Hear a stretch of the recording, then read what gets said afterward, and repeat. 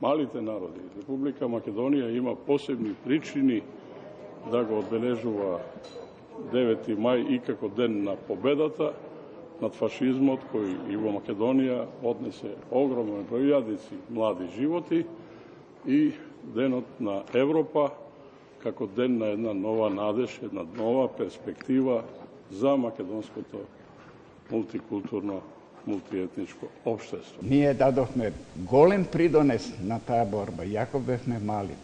Не.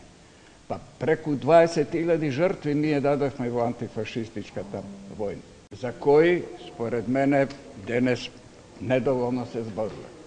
Недоволно и се знае.